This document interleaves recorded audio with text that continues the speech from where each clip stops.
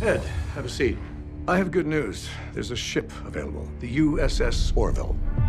Ever since I was a kid, I have wanted to serve on an exploratory vessel. You're nobody's first choice for this job, but we have 3,000 ships to staff, and we need captains. Can I have one of these mints? Those are marbles.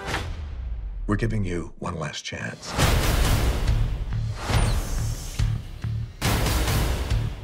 I just want to say I am thrilled to be your new captain. I want this to be an efficient ship, but also one that you're glad to be serving on.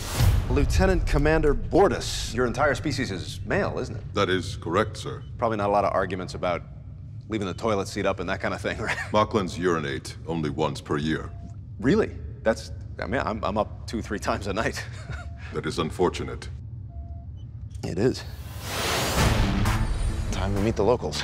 Hi, I'm Captain Ed Mercer. Holy crap! We don't mean your family any harm.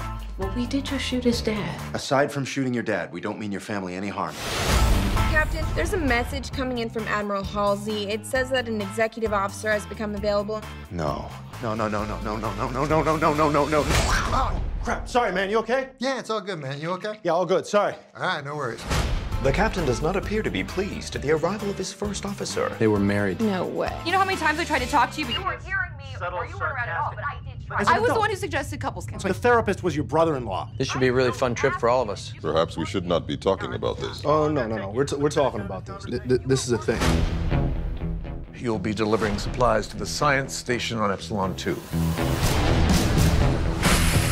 Thank you for coming. We need protection. Protection from what? The krill.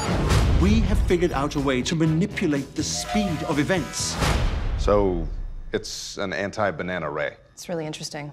We need no longer fear the banana. Does it work on all fruit? What about salads? You do realize this could be used as a weapon. That's why you're here. Orders to Captain Mercer. Just detected a krill destroyer entering orbit. Door's jammed. Alara, you want to open this jar of pickles for me? I loosened it for you. Return fire! Give me the device, or I will destroy your ship. Sorry, can you can you move like two steps to your right? It's just a lot of dead space there. Just perfect. Yeah, sorry, you were just very weirdly framed. What? What is that? Is that a beer? Yeah, I'm nervous. You know, it's a new ship. I want to make a good impression. It's 9:15 in the morning. Sorry.